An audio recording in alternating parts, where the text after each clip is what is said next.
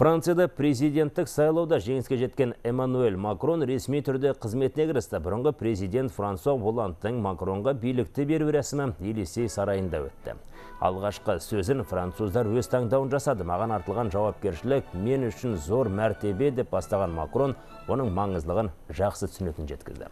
Айта кетейік, мамырдың жетісі күні елде президенттік сайлаудың екінші кезеңі өтіп, додада 39 жастағы Эммануэль Макрон 66 пайыз дауыспен жеңіп шықты. Оның қарсыласы ұлттық майдан партиясының өкілі Марин Лепен 33 пайыз дауыс жинаған.